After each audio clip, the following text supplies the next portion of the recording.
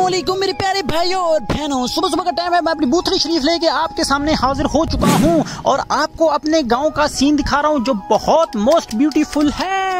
और जनाब, ये मेरे कबूतर हैं छोटे छोटे से कितने क्यूट और प्यारे प्यारे हैं। सुबह सुबह ये खा पी रहे हैं। तो भाई साहब, हम भी चाय पीते हैं। दूध पीती जो वीआईपी लग रही है, गाँव की चाय। आए, हाय आए, हाय। इसके बाद जनाब, हमने निकालने हैं अपने कुकड़। जनाब चूचे मुचे भी निकाल लें। जनाब, ये भी भूखे शोधे पड़े रहते हैं। तो इनको एक वैरायटी इसको भी निकाल दिया। ये अपने चार बच्चे लेकर साथ इसको मैंने बाहर फेंक दिया। और ये दो बच्चे लेकर इसको इधर डाल दिया। भाई साहब, इसके बाद मैंने प्रोग्राम बना लिया। भाई शहर चलें।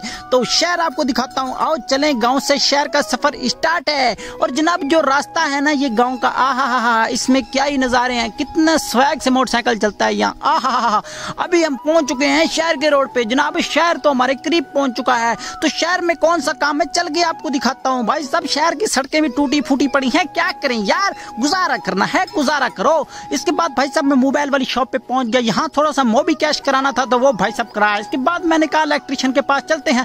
इलेक्ट्रॉनिक दुकान पे जाने के बाद मैंने पंखों का रेट पता किया। भाई साहब, आपको पता है कि एयर कूलर का रेट गर्मियों में वैसे भी बढ़ जाता है। तो भाई साहब, मैंने रेट पता किया तो इसने बताया, भाई साहब, ये पैंठ सौ रुपए का, पचहत्तर सौ, पचासी सौ तो ये बढ़ते ही गया भाई साहब लास्ट वाला ग्यारह हज़ार रुपए का था। तो इसके बाद मैंने कलर लिया, क्योंकि वीडियो बनानी है, इसमें कलर मुझे यूज़ ज़रूरत पड़ेंगे।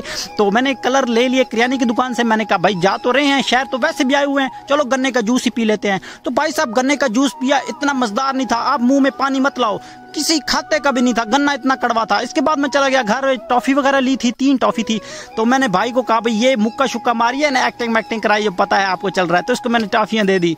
और जनाब, ये कंप्यूटर चला के वीडियो देख रहा था कैट्यून तो हमने वीडियो के लिए यार मेहनत की, क्योंकि हमने जिस कैटेगरी का सीन लेना था, वो नहीं मिल रही थी, जगह नहीं मिल रही थी। बहुत कोशिश की, बहुत दरख्तों को फ्रोला मरोला नहीं मिली। तो भाई साहब, इतनी मेहनत, कशियत करने के बाद मैंने और मेरी टीम ने बहुत मेहनत की भाई साहब। वो लोकेशन, वो जगह ढूँढने के लिए फिर नहीं मिली, फिर हमने रैंडमली एक जगह ढूंढ के वहाँ वीडियो शूट करना शुरू कर दी। Like share